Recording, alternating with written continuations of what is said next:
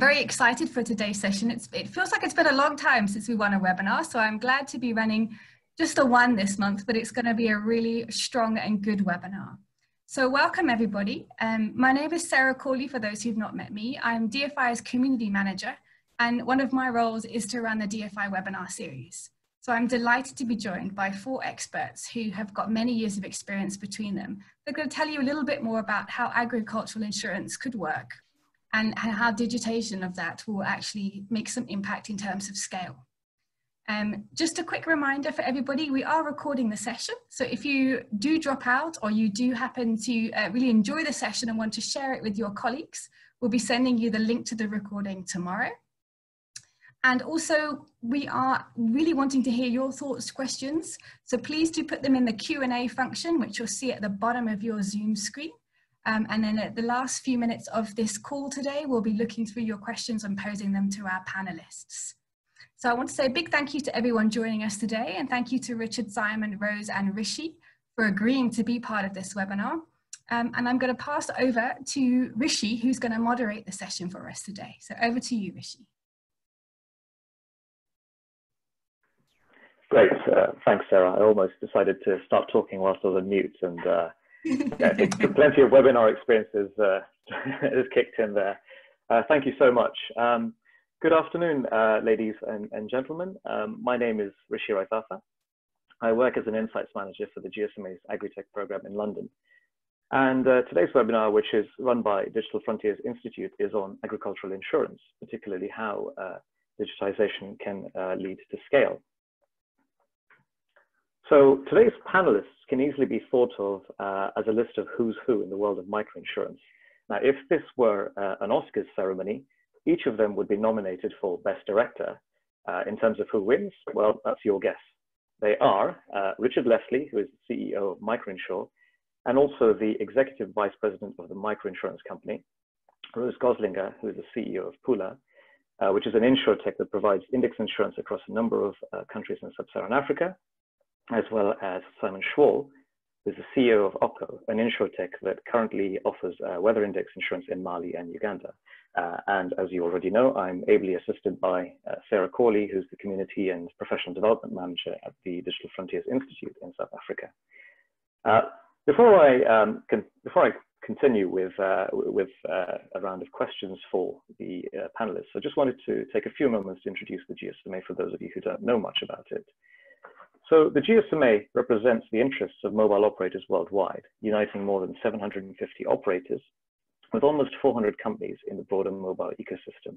This includes handset and device manufacturers, software companies, equipment providers, and internet companies, as well as any organizations in the, in the adjacent industry. The, the GSMA also produces the industry-leading Mobile World Congress events held annually in Barcelona, Los Angeles, and Shanghai, as well as the Mobile 360 series of regional conferences.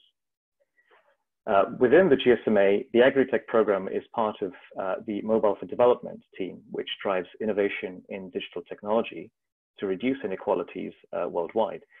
Singularly positioned at the intersection of the mobile ecosystem and the development sector, Mobile for Development stimulates digital innovation to deliver both sustainable business and large-scale socioeconomic impact for the underserved.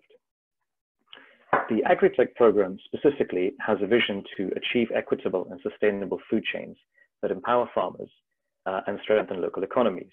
Our mission is to bring together and support the mobile industry, agricultural sector stakeholders, innovators, and investors in the agritech space to launch, improve, and scale impactful and commercially viable digital solutions uh, for smallholder farmers in low and middle income countries. And we do this through sharing research and knowledge on best practices, running an innovation fund and providing technical assistance, and brokering partnerships. Um, Today, the webinar uh, we've got for you builds on a recently published landscape report, which covers a number of trends, challenges, and opportunities relating to agricultural, specifically index insurance. Uh, in terms of trends, the report looks at how digitization and technology has led to growth in the number of digital insurance services available to smallholder farmers. And in particular, we show the impact of mobile technology on digitizing index insurance services. In terms of challenges, we explored data availability uh, as this remains a challenge with insufficient current and historical weather data coverage leading to unexpected claim outcomes. Uh, at the same time, we also explored distribution payments and location accuracy, uh, which are barriers to scale, and we looked at how mobile can help to overcome these. Uh, in terms of opportunities, in terms of opportunities, uh, we looked at how mobile operators can improve service creation, contextualization, and delivery. And we uh, explored the use of partnerships, bundling, and cross-selling as means to achieve scale across a number of different model, uh, business model approaches. Um, from, uh, from the analysis we carried out, we came up with six key learning points. We found that index insurance services had enabled um, first-time access and usage for many uh, smallholder farmers, but we also found that despite some early promise, service adoption remains limited. Partnerships between insurance service providers and distributors, such as aggregators or mobile network operators, are vital for services to scale further, as well as to improve customer awareness, trust, and education. And in terms of business models, business to business remains popular, or I beg your pardon, rather, business to government remains popular uh, due to government support schemes such as the premium subsidy scheme in Kenya. We did find that some providers have grown through business to consumer or business to business approaches, which I'm sure Rose and Simon can tell us more about shortly. Uh, we found that mobile technology can be used for service enablement and delivery. Uh, we've seen mobile technology being used for customer registration via USSD, determining a farmer's location via location-based services, providing regular weather updates via SMS, and collecting premiums and paying out claims via mobile money. That said, there is a sizable opportunity for mobile operators and mobile money providers to drive further growth of index insurance services. Finally, we found that, index, found that index insurance should be bundled together with loans, as this would offer farmers loan protection and an income safety net. And the moment you've all been waiting for, uh, the very first question that I'd like to ask our panelists. So the first question is on uh, digitization and the in in index insurance landscape. And I wanted to put this first to, to Richard Leslie to, to tell us a bit more about how the landscape has, has changed where agricultural index is, concerned over the last decade. Sure. Uh, thanks, Rishi. I mean, um, i actually think that Rose and, and, Simon are probably now the experts in this area. I mean, as microinsurer and myself personally, um, I think we actually sold our first weather index insurance product in 2004, which is now 16 years ago. Um, but we actually stopped selling the products um, uh, about five or six years ago when we had some concerns over them. So perhaps you know um, I'm going to be more of the voice of, of reason, and and and uh, perhaps Simon and Rose can kind of can spell out where where they're going to go in the future with this. But certainly over the last you know over the last decade, we've seen huge change in the way in which the the kind of digital landscape has has affected agriculture uh, insurance. I mean, when when we first started in 2004 and we started with kind of uh, using weather stations, so just analog weather stations that have been around for decades um, in Africa. Um, and, and often that, that meant that you had to actually go to the, to, the, to the location and you got out a big book and you had to actually you know, physically hand write down all of the recordings going back decades and then digitize those yourself. Um, and I think the real turning point for us certainly is microinsurance, and, and, and this is I think before Rose even started working in, in Rwanda on it, um, was the realization that actually a lot of these weather stations just have fallen by the wayside. Um, I think it was actually when we first started working in Rwanda, and we realized that kind of prior to the genocide in Rwanda, there had been over 200 weather stations um, and and after the after the genocide there, there were i think only two or three that were left operational and when you kind of play this out across africa um, and asia and many many kind of emerging economies you, you can see that actually this kind of network of um, weather stations that are needed in order to kind of provide a, a the yeah the basis of, of, of the index itself, but also the, the decision about whether or not a, a, claim is going to be payable. Those weather stations simply have you know fallen by the wayside. So we had to find other ways of of pricing products and then also um, determining whether a claim is paid. And, and, and that, of course, led to people installing their own weather stations initially um, as kind of automated weather stations. I think a lot of us did that on on the masts on, on the masts of the telcos themselves because they had electricity and they had access to um, you know to strong kind of signals to be able to send um, you know to send data over SMS.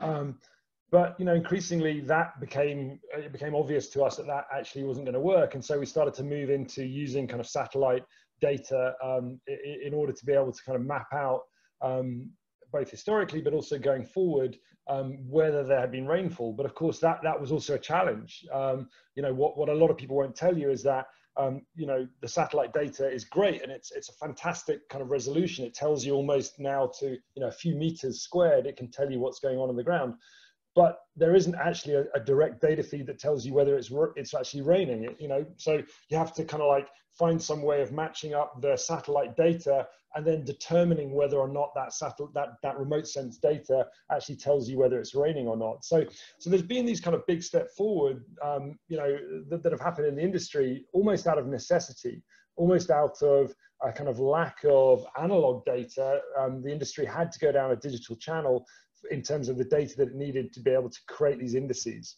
Um, I think as well, um, there have been, and, this is certainly something that I'd like to discuss later, um, almost kind of uh, an opportunity to use digital as a way of distributing these products. And I, and I, don't think that that's what you meant by this question, but I think um, actually uh, the distribution of these products through digital channels um, is something which um, should have, but hasn't really taken off to the degree in which it should have done. And so that's perhaps, perhaps something we can discuss as we go through the session. Great, thanks, Richard. And I mean, uh, fair point about the distribution and potentially my question not looking at uh, covering that, but I'm, I'm very happy to try and understand a bit better for, for our audience uh, the way digitization and what would have, uh, well, has, has improved distribution or, or could improve distribution. Um, the same question I'd like to try and um, get an opinion from, uh, from Rose, if I can, at this point, uh, to, to, give us a bit more of an understanding, especially um, given, given the work that you do. Sure. Um, Thanks, Rishi. Um, I think, you know, just following on with what uh, what Richard just said, uh, I would really kind of, I think we, when we started working on this, I remember getting in touch with Richard in 2007. So like nearly three years after they started and doing the first one in Rwanda, if I look at back at that, it was indeed very much like, you know, man-held weather, man, you know, recorded weather stations, which were sometimes literally like a bottle in the floor um, and then going to automated weather stations. And then I would say circa 2011, everybody switched over to kind of satellite data because of the issues we saw with weather data.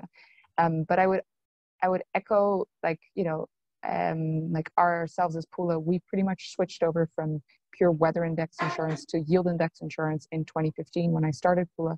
And I would even say that to some extent, starting Pula, you know, one of the core features um, that we set out to do with Pula is actually to move from weather to really yield index insurance. What we saw while, you know, my co-founder is an actuary and he always says it's, you know, as actuaries, they love the complex formulas. The complex formulas I felt always gave us a false sense of security. And the reality was that we weren't getting, we were getting it wrong as many times as we were getting it right. And when we started doing yield measurements, you know, that's when we really started getting traction and, and reaching scale. Like we now as Pula, like in the last five years, we've insured over three and a half million farmers. This year we're on track and insuring 2 million farmers as compared to 1 million last year. So we're really starting to grow when we, you know, by using this kind of more effectively more simpler product where you measure the yields. And digitization has certainly played an important role in that. Like in the past, you know, like these you know, satellite data, you know, it sounded, you know, it sounds like your silver bullet because you have it everywhere. You know, it's kind of this transparent data source. But if you think, you know, if you think through the detail, and the devil is always in the detail, if you think through the detail, how you set up these fairly complex formulas and that how you have to then explain those complex formulas to your end customer, which is a semi-literate farmer in most cases, or a very literate, you know, NGO or government institution that you're selling to, you know, they will still find that a very complex algorithm. Um, and you know the you know they're all fine when they're signing up the premium or when they're paying the premium but when the payout doesn't happen as they expected then they're not so friendly anymore. Farmers will stone you and ministries of government agencies will see it you know they won't you know they'll figure ways that you can never get into the country anymore or basically make sure that your whole business actually has a lot of trouble with that. Um, and so like when we switched to yield index insurance that was really what we were trying to do. Um, we're really trying to solve for. Because I would say, like, for people who are not familiar with that, the difference between weather index insurance and yield index insurance is quite, you know, weather index covers for risks like drought, pests like droughts, and perhaps some excess rain, and really relies on the idea that satellite data would measure, you know, through the uh, availability of like cloud measurements, you know, like effectively most satellites or the precipitation satellites look at the temperature of clouds and if temperatures of clouds are, you know, they're very, they're very cold, they're likely to have rain. So they make an estimate of how much rain there is. But that estimate, it's an estimate. So they may be right, um, but you know, like they might as well also be wrong. Like, you know, the, the chances of them getting it wrong are, are, you know, are, it's not bad, it's not fantastic, but, you know, there's, it's certainly an estimate. Um, then the complexity of setting up those indexes, you'd had to look at how much rainfall you need at particular times of season. We're just finding that it wasn't really working for us. Now, with yield index insurance, you know, it's, it's a much more old concept, I would say. It started in the 70s in India, where actually you measured, you know, like uh, government extension officers were going out to the field and doing what they called crop cut estimates, where you actually, you know, harvest with the farmers and you set two boxes on the field. You literally, you know, like effectively you will, you know, have some guy walking, you know, with you know, uh, like a, a, machete into the field and he'll cut the maize or he'll cut the rice. You know, they'll thresh the rice, they'll thresh the maize, measure it, they come with a weighing scale and write down their number. Now, the key thing for us in digitization there has been that, you know, it, in the past, like in India and like the, and still actually, like those extension officers are all paper based. So it's very difficult to actually monitor what's going on. We equipped our teams with, you know, with uh, with tablets, digital weighing scales, with a whole bunch of different algorithms set up on the on the back end to check for fraud, to check that these guys actually have been to the field, to check their GPS coordinates, to check that they're not entering faulty data. Um, but you know those kind of elements now make it possible for us to do probably more than 15,000 of those yield measurements into the every year. And why this is really important is because yield measurements are really intuitive to customers, you know, to farmers alike. Somebody visited their farm, maybe not all of their farms, but somebody in the neighborhood will have been visited, and to like the governments and like the NGOs, the credit organizations that you're selling to, those organizations are now basically not trying to understand some complex algorithm. They just need to know, okay, in a normal year we get three metric tons, and in a bad year we get one metric ton and we start paying from two metric tons. So you can come up with a fairly simple policy that most people can understand, and therefore you have a lot less issues with that. So I'd say like for us, I, you know, I would say like since we do that yield index product, we don't have so much issues with our product anymore. We have much less basis risk, which is a big issue with weather index insurance. We still have some of it, um, and we've been able, like we found kind of, you know, but it's, it's much to a much lesser extent. Um, and I would say that's been really key for our kind of pure kind of product digitization and growth curve in that. Um, I would always like I always also always kind of joke that this is kind of the rocket like this always sounds like the rocket science, but as Richard really like rightly pointed out, um, the real rocket science is how you distribute this product. Like you know how you get this product to your customer and how you use digital for that. We've tried a number of different things there. We work with seed and fertilizer companies bundled together with seed. Um, you know the unit economics of that is really tough and i wouldn't, wouldn't necessarily say that we've cracked the nut there. What really has worked really well for us is working together with credit institutions governments um, mobile operators that provide credit you know like getting that kind of bundling structure out there with operators that have potentially a wide digital network or a very non-digital network for that matter. But those are kind of the organizations that you know become your customers and help us get to numbers where we are now. Yeah, yeah, no, that's that's that's fantastic. Thanks, Rose. I think I could I could easily say you've answered a couple of questions in doing so. Um, but I will, we'll come back to the distribution element in a second because uh, I think there is a question on, on business models and, and partnerships. Um, and I appreciate you talking about basis risk um, especially because we've had a question from the audience, which um, Richard has thankfully thankfully answered.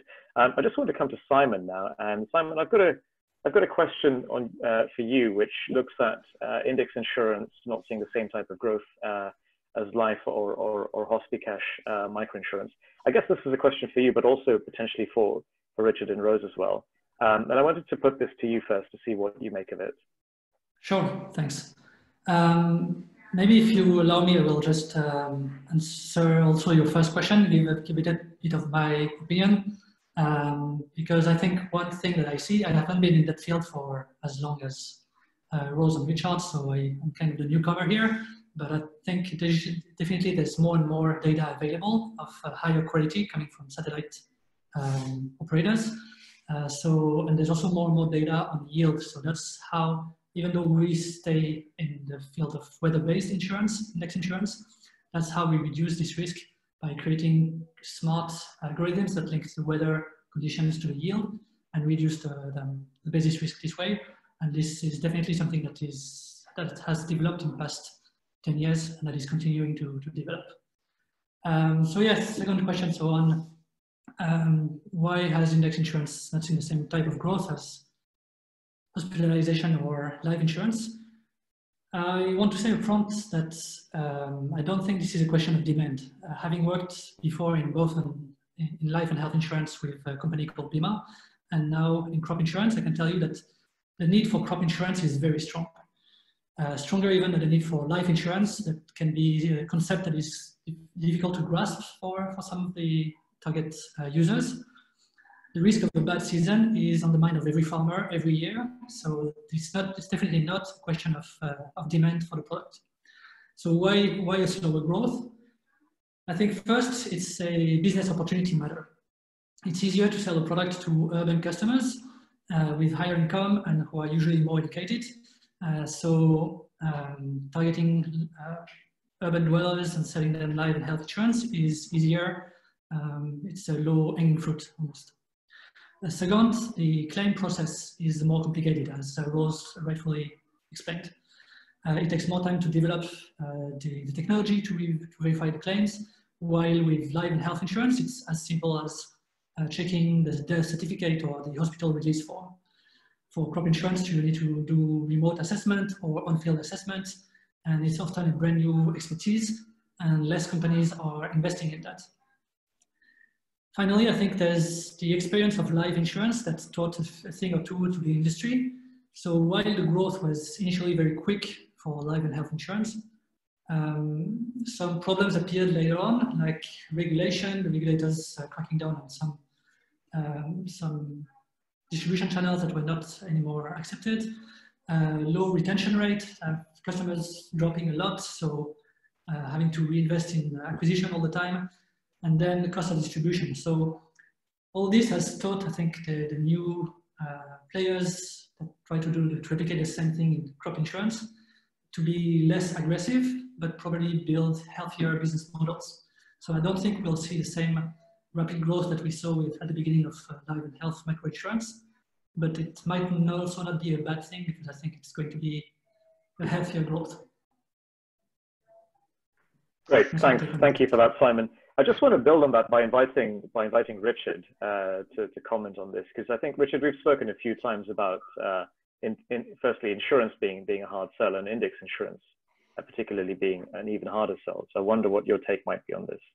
Yeah, absolutely. I mean, so I mean, I, I, think you've heard me say, Rishi, a few times that, you know, no one really wakes up in the morning wanting to buy insurance. You know, none of us woke up this morning and thought, you know what, I really want to go buy insurance. And so, you know, if you're if you're from a low income or a middle income background, you really don't, you really do not wake up thinking that you want to buy insurance. Um, you know, people can understand the need for a loan. They might even be able to understand the need for a savings account, and they're certainly grateful to receive remittances. But when it comes to insurance, it's really a hard sell. And uh, my experience um, is, and I think the statistics bear it out, the, the fact that you're asking the question, which is why has weather insurance or agriculture insurance or whatever you want to call it, not taken off to the same degree as say life, health, and, and say accident I think it's because basically it's a it's it's actually really really a difficult product for the farmers to understand. I think um, there's this massive mismatch between what the farmers are willing to pay or what they perceive the product is worth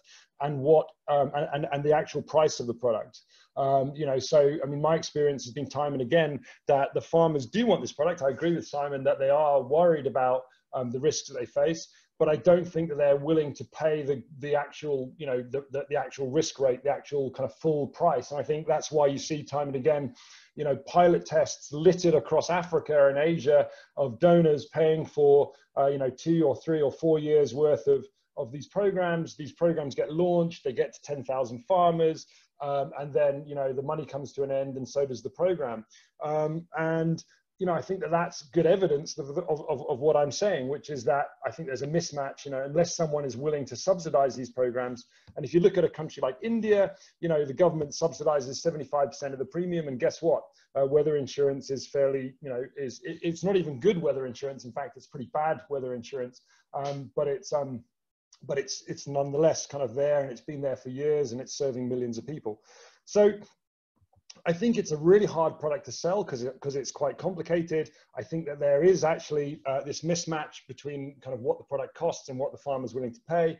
And I think as well, because it's a relatively expensive product um, compared to hospital cash. I mean, you know, these products cost, um, you know, a, a few dollars uh, for weather insurance. um, and you know you can get life insurance for three cents or six cents or a dollar um, you know and so I'm, I'm, I'm not comparing the the relative value. I'm just saying in absolute terms they're they're, they're you know in dollar terms they're they're more expensive. And as a result when you do embed them and i agree with rose that that's the way to go but when you embed it into a loan or a farm input or a seed or, or fertilizer or whatever it inevitably after a period of time it inevitably makes that loan or that input more expensive um, because it, you know because the the provider of that service the, the the lender or the provider of the seed or the fertilizer isn't willing to subsidize their loss of profit or subsidize the cost of the insurance forever. And as a result eventually the cost of the insurance becomes known to the farmers. And i think um, there's a number of examples that i've that i've seen over the years where you know, as soon as that becomes evident to the farmers, then the farmers switch to the cheaper loan without the insurance or the cheaper input without the without the insurance. And I think that that's again evidence that there's this mismatch between, yes, farmers do want it, but they're not willing to pay for it. Um, and I think that that's at the heart of, of why we haven't seen the, the similar level of take up of these products. Fair enough. I suppose none of us did wake up this morning uh, looking to buy uh, in insurance of any sort, but most of us did wake up knowing that there'd be a webinar about insurance. So there is at least yeah. that. So well, I did my insurance this morning, so there you go. But okay, very the government told me I had to. So. Okay, well, well, well done, Richard. Um, uh, well done for buying motor insurance there. Um, so, you know, there's a couple of interesting things you've hit on there, and um, one of the things was the the issue with subsidizing uh, in insurance there, and we've seen time and again that uh, a number of a number of papers have come out and suggested that the best way to, to go about this is to bundle insurance with loans because the, the risk the rate of default is is likely to go down. I wonder if any of you have a comment on this before I move to the next question. Maybe I'll comment quickly. Um, so the product that we sell in, in Mali, it's not subsidized. Uh, we managed to keep it at, at a fairly low rate and uh, farmers are paying full cost of it. Um, indeed, they need to see a value in it. So we are offering added value other than insurance, meaning easier access to loans, um, agricultural advice, these kind of things. Uh, but I think if the product is compelling enough, uh, we're starting to make the case that farmers are willing to pay the full price of insurance for it. It's a lot more difficult than in Uganda, for example, where it is subsidized by the state. But I wouldn't, I'm not as, I'm still optimistic. I'm still confident that we can, that farmers uh, are, if they understand fully the value of the product, are willing to, uh, to pay for it, especially if it was built in a way that remains um, affordable or give a good value for money. Great, thanks, thanks, Simon. Appreciate that. Um, the next question I wanted to ask uh, looks at the role that mobile technology can play to uh, to grow index insurance services further. And um, for, for the work that we did for the report uh, that we published, um, I spent a bit of time learning about the service that Pula, uh, which Rose leads, offers through through DigiFarm in, in Kenya. And that's a really interesting way of uh, a mobile-based agri uh, value-added service platform offering uh, index insurance together with um, a bundle of relevant services. And I just wanted to try and get an opinion from, from, from you, Rose, at least to start off with, uh, as to how uh, mobile technology can be used in this particular case from the example you have to, to grow index insurance further. Um, in the case of DigiFarm, like effectively how the program is structured, uh, DigiFarm is a it's a it's a program or it's an enterprise um, within Safaricom, which is the largest mobile operator in Kenya. And effectively, what they provide is they started off with providing like farmer advisory services to farmers. Then they started offering, um, you see, they were serve, offering extension services, farmer advisory services. Then they started offering off-taker and credit services. Now, of course, like DigiFarm leverages off a huge and very strong network in, in Kenya where they already have like 65, 70% of the, the population is on Safaricom network. And like I would say 99% of all mobile money in Kenya, which comprises of 40% of GDP, which is a very huge outreach, is transacted through that same same platform. So it, it's good to understand what this is built because that's where a lot of the, the value comes from. So now DigiFarm, like where Safaricom is offering a specific agricultural loan for and not provided in cash to farmers, but in the term form of inputs to farmers. And on top of that loan, they have added a insurance product to secure that loan. Now, they've not just decided that they want to secure the loan value. They said for this to really have value to farmers, we will not just finance an insurance that will cover the inputs so that we can get our loan back. No, we want really want to secure the harvest income of these people. And that's pretty rare, to be honest. Like we see governments do that, some of our governments might do that, but we don't necessarily see a lot of other organizations do that.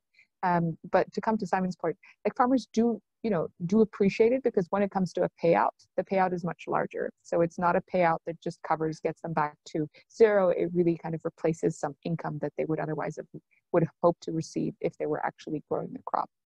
Now, I think the premise of this product is very much uh, the, the context that I described it in. So you really have like this network where you know you get this loan for this insurance product. It's part of an ins- part of a loan bundle that you're getting, um, but it's it's you know there's also a lot of compel like there, there's a lot of like um, push for you to also repay that loan because you want to stay on the network and the network is part of your basically your payments platform for the country to pay anything frankly.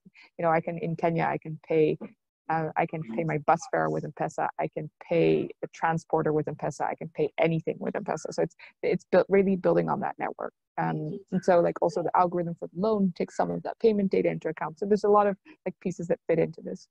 I think insurance for them was really important because as they grow, you know, particularly as they grow their loan portfolio, um, for Safaricom was really important to kind of grow that piece in there. I don't necessarily look as much as I, I love this program. I think it's amazing, and I think it, it has a lot of potential, particularly in a country context like Kenya. It took quite a bit of time for Safaricom to build and to have such a context within which you can launch something like that. You know, I think in other markets, like you know, in a country like Nigeria, uh, where we do a lot of work, I think there there's another potential to like you have a do very dominant mobile operator where something like that could definitely be developed. Um, so that's something that we're definitely interested in, where we see potential growth um, I would say like the program with DigiFarm like is trying to reach something like 200,000 customers this year. Uh, they had a bit of a hiccup when it comes to COVID, but you know, like apart from that, like I would say like that those are kind of like working with such like network players who, who have a very dominant space in the market and can offer like kind of a really kind of high value product and can find a financing structure for that high value product. That's really key. Um, so yeah, I don't know if you have any other things that you want me to bring up on that.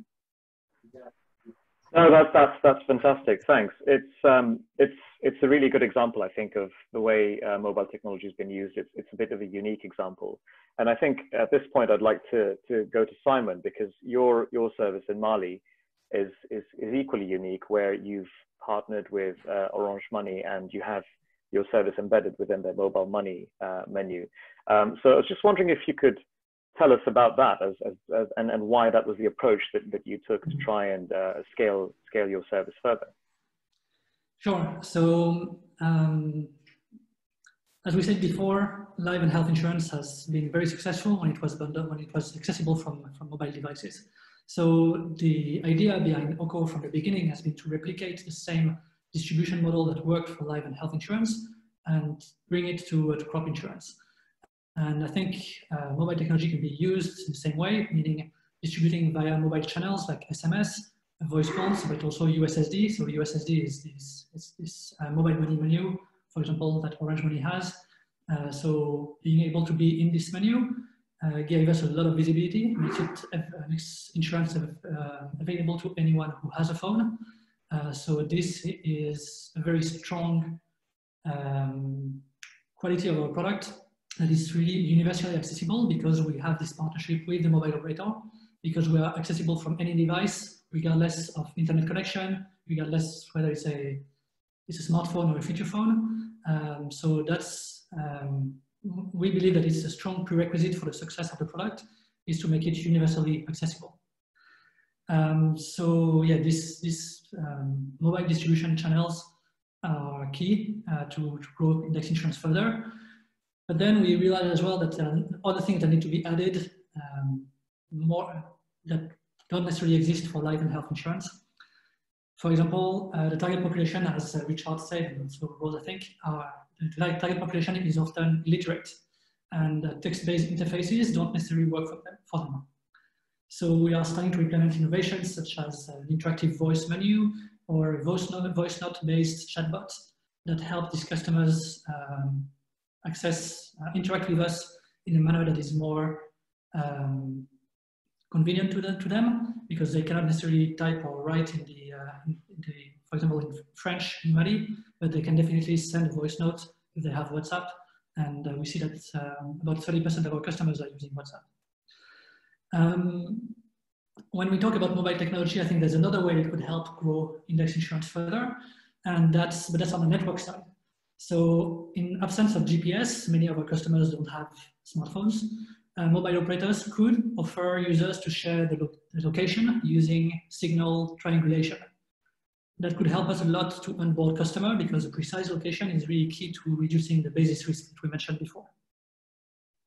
That could be uh, that can be one way. Another way could be that uh, mobile operators could provide uh, accurate weather data, either with weather stations attached to their mobile base towers, or by analyzing the the signal. And uh, by analyzing the signal, you can see what's the moisture in the air.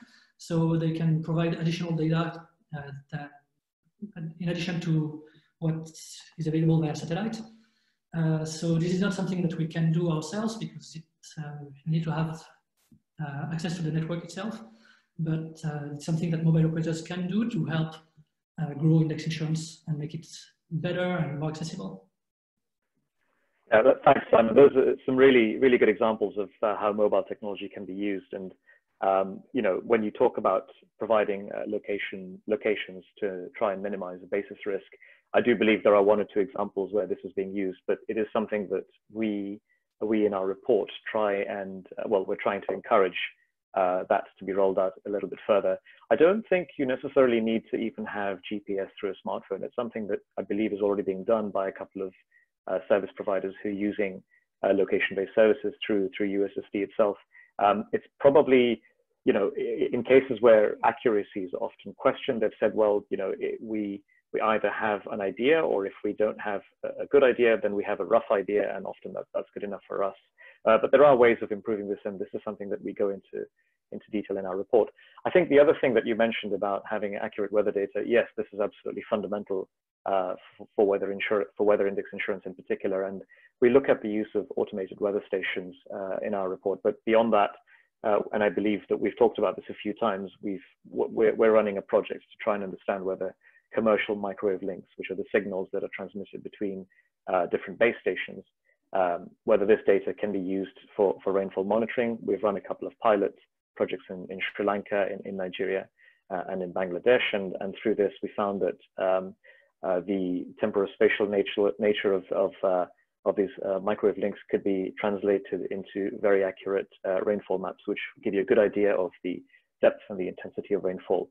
Rose mentioned that when you look at satellite data, you look at the cloud and there's no there's no guarantee it's raining, but at least we know that from this data, when uh, when when it rains, uh, the rainfall attenuates these signals, and you have a pretty decent idea of of, of, the intensity and depth of rainfall. Um, I do I do appreciate um, the examples that you've both given me about the the, strength of um, partnerships with mobile network operators because there is there is the networking effects there that you can take advantage of. Um, and I know, Richard, you mentioned distribution very early on when we when we started the webinar. I wonder if you've got you've got a take on the the use of mobile technology for distribution because I think this is something that you have done with uh, some of your some of your products before. Sure. Um, I think we I think probably to to some extent all of us have. Um, uh, on the panel. So, but um, yeah, um, I mean, look, mobile phone companies are immensely powerful ways of distributing uh, insurance because people trust their mobile phone company. Um, the reason that people trust their mobile phone company, by the way, is because they top up um, they top up their phone with airtime and it works. And they do that regularly, right? So they buy small amounts of airtime, they top up their phone, and it works. And so in their mind, they equate Safaricom or Orange or Vodafone, uh, even subconsciously, they trust those brands. So they, they're willing to send money through Safaricom because they, they have done so many, many times and it's always shown up with their friend or, you know, uh, paid the bill. And so because it works, they believe that it will work. And so when that brand turns around and says, if you die or if you get sick or if your crops fail, uh, we will pay you this money, then they have absolutely no reason to question whether or not it will work. Um, whereas um, if um, if other brands like you know like our brands like Pula or MicroEnsure or OKO or, or Bima or whoever, I mean frankly no one knows who our brands are, and that's why we've been leveraging these other organisations' brands. Um, and frankly, no one trusts the insurance companies. And the reason they don't trust the insurance companies is because they don't have that frequent interaction with um, with an insurance company, right? So we trust brands that we use and that have proven to be trustworthy. Um, we go upon, you know, past history as a good guide of what, what might happen in the future. And that's why um, a lot of us have, have leveraged this kind of inherent embedded trust into these brands as a way of distributing insurance because it's a really intangible product. Um, it's also enabled us not to necessarily sell insurance, but to actually sell um, a solution to people's worries, right? So if you if you stand on a street corner in Nairobi and say, "Who wants to buy life insurance?" I can assure you that the queue will be extremely short. Um, but if you stand on the street corner in Nairobi and say, uh, does anyone want to make sure that their child finishes school if something bad happens to them then there'll be a long queue right and so people people want to find a solution to something that they're worried about um, and and so you know i don't know how rose and and um, Simon represent their products, but I'm pretty sure that there's an element of, you know, not needing to call it necessarily insurance, I mean, apart from maybe for legal reasons uh, or compliance reasons, but actually it's a solution to a problem that the farmers are worried about. And, and so when you combine that with the brand of a telco, um, it's a very powerful proposition. Um, so thank you for that. And just whilst I've got the mic, Rishi, I know that you're from the mAgri team, and therefore, when you talk about index insurance, um, you're talking about um, weather index or, or, or, yield index insurance products, you know, products that relate. But, but actually, I think we're starting to see at MicroEnsure uh, and now at the microinsurance company, we're starting to see that index insurance is actually something which could be used for um, for non kind of agriculture products. So um, a lot of people um, in the countries that we work in, especially places like the Philippines, worried about things like windstorm. Um, so you know, uh, typical kind of use cases. Um, you know, a, a Filipino maid working in the Gulf, sending money home to her family every every month, uh, and and a lot of, and good part of that money is being used to build a fa- you know a family home um, so that when you know 10 after 10 years or 15 years she can go home and she's got you know that's basically her retirement property um, and, and if that is damaged by a windstorm and, and, and the Philippines is affected by 20 typhoons on average a year, then, you know, there's a big issue for her. And so, um, you know, there's a strong demand for insurance products which use, say, an index approach to cover assets that aren't necessarily just crops. So I think that there's a role there for mobile technology in actually being able to sell uh, and run those products in the future as well. And it's certainly a space that I think you should keep an eye on. Yeah, thanks. So it's, it's a fantastic example, and we've spoken uh, a few times not just about um, storm or, or, typhoon insurance, but also the fact that you can have a farmer with a large family, and uh, with the onset of climate change, you'll have diseases occurring at um, at uh, unusual times of the year, which bring on uh, uh, health problems. And so it's not just a case of looking at index insurance or agricultural insurance, but potentially a need for, for health insurance for farmers to be to be bundled together with with index insurance and it is something that we're we're looking into uh, as, as, things go on. Um, for the sake of time, I'm going to move on to uh, my final question of the webinar, and uh, this explores the use of business models um, and specifically which which kind of business model approach we we think will will lead to and, and sustain medium to long term growth. And one of the one of the interesting things for me, where this question is concerned, is I'm sat with with you guys virtually, of course, um, here. And I know, Simon, your, your service is, is, is a business to consumer uh, business model, has, has got a business to consumer business model approach. Rose, you've, you've got probably both business to consumer and business to business, ultimately to consumer. And I wanted to try and um, throw this out to, to the two of you first before I then perhaps invite Richard towards the end uh, to give us a bit of an idea as to what you think the right approach might be to see, uh, see and sustain uh, medium to long-term growth. Perhaps Rose, if you, if you care to go first. Sure, no problem. Um, I would say we initially started off with kind of business to consumer approach.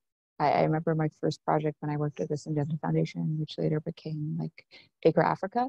Um, and, and we found that we just couldn't make the unit economics work uh, and the profitability. And so like for us, like the long-term sustainability, like I, have gone back and forth a couple of times and, and ventured into like looking from business business to consumer and going to the consumer directly. The the short of it was that always going business to business was always much more profitable. Our margins just worked. Whereas every time we tried to make the margins work and going to the consumer, you know, we just were hemorrhaging money. Um, so like I think for like in the long term, like for our business, like I, we're not trying to run an NGO. Like I, we're raising like this, you know, good amounts of like venture capital at this point. Um, you know, the business model for that and the profitability for that really works much better with a business to business model because you can get to scale you can get the renewals are you know, you're not doing individual renewals, you're doing renewals of 500,000 farmers at the same time, 200,000 farmers at the same time. You can manage, I saw a couple of the answer questions in their thing. People ask, you know, how do you do these yield measurements and how do you make sure, do you have to measure everybody's yield? No, you use samples. So like it's really a statistics game. So you, you have, you organize the country into different agroecological zones and then you sample the farmers per agroecological zone. So you can make those economics really work if you have, if you're working from like aggregator level and like we've built like different business models around that to protect you know like we collect our own data and therefore it's pri- private data rather than public data that gives us a level of protection. Um, we increasingly integrate into insurance companies so that we also take a profit margin on the underwriting. Uh, or is it an underwriting profit margin? Um, so there's a number of different ways that you can make that business model work because you know in agriculture and in microinsurance the margin's always going to be thin. So you have to you ha- you really have to squeeze at every single point. I actually be super curious, you know, how Simon is doing with the you know putting like in particularly in the Mali model where you put it on the the, the menu. I, I never close out that we still might go that way, but I'm I'm curious like because it like I, I would beg the question. It kind of comes back to um, to Richard's question. If you just put it on the menu do people in the end end up buying it? Because people might click on it but the question is do they end up paying the money? In my experience they you know as, as i said like the, the the queue becomes very short you know and over time as you get towards the end of your menu like people don't really sign up. Whereas if you're working with kind of like larger organizations larger corporates that's really worked for us. Like yeah. And i would say like as final point i always kind of underestimated that market. I thought that market was very limited. Um, but I'm increasingly seeing that if you, you know, understand the market well enough and have a very structured, rigorous sales process behind that, that that market is actually quite big. Great, thanks, thanks, Rose. I think that's that's a great segue to, to Simon, really. Sure. Um, so yeah, at OKO, we took a slightly different approach. Um, we decided to go very early on uh, with a B2C model, partnering with mobile operators. Um, so we think that this B2C model is indeed challenging. Uh, you need to have a lot of customers before you can cover the cost and generate profits. But the benefit that mobile operators bring is that they have a reach that is second to none in most markets. So they offer almost an unlimited pool of potential customers. It's not as easy as just putting it in the menu and uh, getting customers to subscribe for it, uh, unfortunately. You need to also invest in having um, a team of agents and a call center to create a, a, bond with the customers, to explain personally how it works, to convince them, to uh, just to, to raise awareness about insurance. So it's not easy, definitely, but um, we see uh, we have had very quick growth just after our launch. We had tens of thousands of customers who called us to try to get more information and to subscribe. So uh, we see a lot of potential. Um, and while partnering with uh, loan providers and uh, input suppliers makes a lot of sense uh, and uh, in terms of potential synergies as well for the for farmers. And I'm very admirative of all the work that, uh, that Rose has, has been doing. Um, it also means that for farmers, it cre creates a prerequisite to access insurance. It means that you need to take a loan if you want to have insurance. You need to buy seeds from a specific uh, provider if you want to have insurance. So we are making a risky bet because indeed we, we have to invest initially in customer acquisition before we can see profit in the long term. Um, but the fact that we are universally accessible and that we have that, access to all these customers, we believe that eventually we'll, uh, we'll have more potential for growth. Um, that being said, we also work uh, with some companies uh, to bring insurance to their providers, for example, in agro industries, like uh, breweries, let's say, who, who buy barley from uh, local farmers. We help them. We have a deal with uh, AB InBev. They are a great partner of us. Um, and we bring insurance to their farmers. But here as well, they appreciate the fact that we bring the uh, last mile delivery and that we have a solution that allows farmers to, uh, to access insurance themselves. Uh, second thing I would like to add is that when you ask what type of business model uh, is likely to, to, to succeed, I think it's quite important to focus on, uh, on a healthy growth once again and to have a good retention rate if you want to be successful in the long run. Otherwise, what we've experienced as well in life and health insurance is that you keep uh, investing in recruiting customers just to replace the customers that are leaving your service. So creating a quality service, uh, good um, bond with your customers, a good customer relationship uh, is key uh, to, um, to succeed in the long run. Otherwise, people might try to, to test it initially, but if they see that it doesn't pay one or two seasons in a row, they're going to, to leave. So um, yeah, it's not just, just as simple as B2B or B2C, it's also about how much value you bring to the customers, uh, creating this relationship, creating this brand image uh, that will make, uh, make the grow sustainable in the long run. Um, yeah, re really good point there on uh, making sure that you're not recruiting new customers to replace uh, outgoing customers. Uh, and that's where I'd like to, to, bring in Richard to try and understand a bit more about, uh, from your experience, you know, how have you continued, how have you managed to continue offering continuous uh, or sustainable value to, to, to, to customers uh, from the medium to the long term? Well, I mean, we, we stopped doing weather insurance uh, in 2014. Um, so maybe I'm not the right guy to ask. we did it for 10 I guess years. the webinar's over then. Uh, well, no, we did it from 2004 to 2014. I think the turning point for me was um, was a fairly well known, and Rose will have a small smile on her face. Events in Rwanda, where um, where I think you know the, the we we launched a program which ended up um, subsidizing the creation of the product, subsidizing the premiums of the product, and then and then having to subsidize the the, the claims actually itself. So it was like this was a totally unsustainable um, and and still our reputation was completely shredded. So um, you know it, it, it, really didn't strike me that there was really any upside of doing these products. Um, you know i mean i think though that you know having said that i do see that these products can work. And i and i really you know have been and, and i hope rose would would agree with me, have been a, a huge um, supporter and fan of Pula and anyone, you know, Simon, others that are doing these kind of products. I'm, I'm really happy to kind of, you know, when someone asks me about, you know, we want to do weather insurance, I point them in the direction of Agritosh or, or Rose or Simon and say, you know, these are the people that you want to speak to. My personal view is that um, these products, um, you know, it, it, this is a distribution challenge, and I and I and I'm really you know, I know that I share that view with with many other people.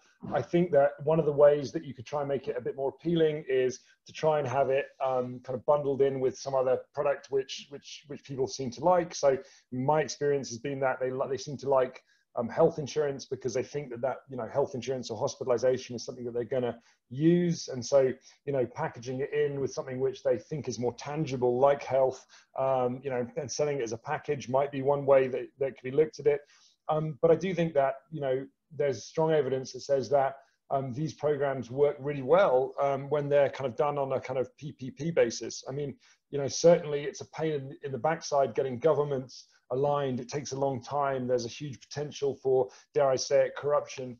Um, you know, if we're being honest, then that that's the truth. Um, and you know, that those things can be very very off-putting especially for a, a, relatively small startups because we're in a hurry and we don't really want to wait around for years and years for governments to make decisions. But when those things do happen then that's certainly a way that you've seen these these products kind of get to scale because governments have then pushed them and provided subsidy and provided the environment to enable these things to to really get to massive scale. Personally um, you know i stopped selling these products because i just it was just too hard, really. Um, I, it's not a, I, I totally agree with Simon. There is strong demand from farmers. They do want the product. I don't doubt that. Um, uh, but it is just a really, you know, insurance is difficult. I know that myself. Uh, been doing it for 20 years. Um, and weather insurance is by far the hardest. Um, that, you know, so anyone who's willing to do it, I take my hat off to them. But um, I gave up uh, six or seven years ago.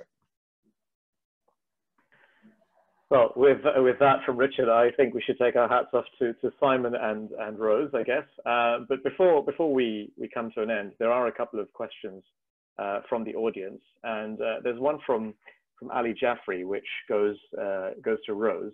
So I'll just read the question out. The question is: Crop yield is dependent on a number of variables. Uh, how you determine that low yield is because of farmer practice, uh, soil, seed, or, or other factors. Um, and I wonder if uh, you've got you've got uh, a take on that there, Rose.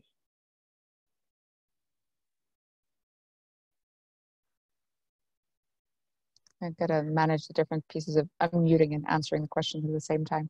Okay, so like what we what we do is is like uh, like our basics of our yield insurance product is that we don't have to um, we don't actually you know visit every individual farmer but we will sample farmers. And that you know our the underlying assumption is that you know if something happens to your specific farm for example you know um, you know let's take the you didn't all take all the best care of your farm or you had a very specific event on your farm that's not probably something that you can manage yourself rather than a systematic event that insurance would cover we have a certain we have a basis risk command fund in place that covers for really kind of you know edge cases where something completely out of control only happened on your farm you know lightning striking like literally that kind of case.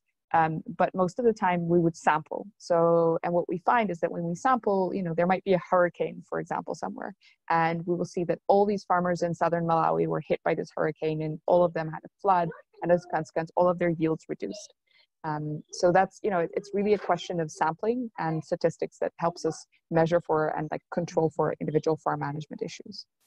Um, I don't know if that helps your question, but that's how we do it. Yeah, that's, that's absolutely fine. Thanks. And um, there's a question from uh, Jill Lagos Shemin, who who's, very happy to hear about uh, Pula's story uh, and remembers the Syngenta days. Um, but one thing she uh, she believes that the audience might benefit uh, hearing from is is about markets where um, an insurance service provider can't partner with a mobile operator. Um, and, and, this is an interesting question because I remember being on on a, on a DFI webinar a, a month or two ago asking the same question to, to Hollard Insurance. So, um, you know, I'm going to leave this open. Whichever of you wants to take it is absolutely fine by me. Okay. So I, I would say like um, I'm happy to kind of like most of our partnerships and our like I think only in Kenya do we have a mobile partnership, and Nigeria is our largest market, for example. Um, so I actually think it's not, and in by the way, in Nigeria there are no agricultural subsidies either. So it's, it's I think it's perfectly possible to work in a market without agricultural subsidies or a mobile operator, but you will need an alternative distribution channel that works well for you. Um, you know, we've worked with the government of uh, you know, coming to Richard's points, you know, some startups have like, you know, you don't have uh, you don't have the patience to work with governments. At this point, we know how governments work. Like, you know, it takes us 14 to 18 months to get something done, uh, but then you have sustainable scale as well. So we've just kind of realized, okay, if that's going to be our route to scale, that has to be our route to scale, and let's get on with it. So let's have conversations with like 40 governments at the same time. Let's move this needle forward. And I, I think you can work with that, but you have to make a, a really deliberate decision to go that route then. Um, you know, because like as you said, like you know, the pool through MNOs may be very, you know, maybe very deep, but it, it's you know, it's tough if you if you can't keep your clients. Whereas if you work through a government channel, it's a much, you know, it's it's from that perspective, I'm the lazy one in this group here. Well, I would, um, I would complement this. Like, um, yeah, I think if you don't have a strong MNO that you can partner with, you need to find another partner that can provide the same reach and also a way to collect the premiums. So it can be, for example, um, let's say in India, it could be something like Paytm, which is an app that is used by millions of people for, uh, for, for to, to, pay for goods and services. Um, in Latin America, for example, we're talking with a bank in, uh, in Colombia uh, that is in touch with millions of farmers and they already have this transactional relationship.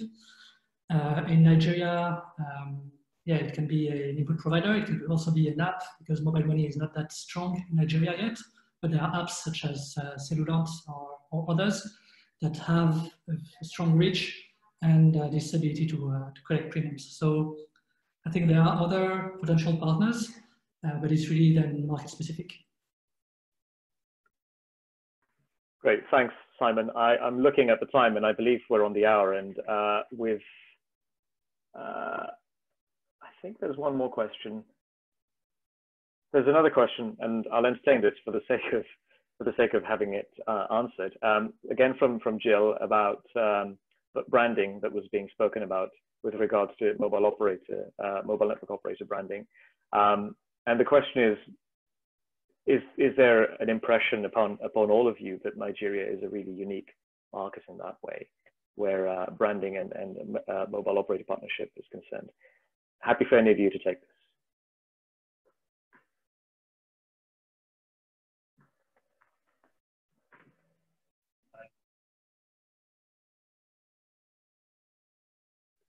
So I, I think Nigeria, yeah, we're not in Nigeria, so let Rose complete my, my answer. um, but branding is, uh, is super important indeed. Um, I think it's possible to create a brand that is appealing to customers, um, even if it's if you're not using the brand of the mobile operator. Um, it, it's uh, yeah. So I don't know about Nigeria specifically. I think it's uh, possible to to create a brand that is recognized. Um, yeah. Now let uh, Sarah or, or Rose complete.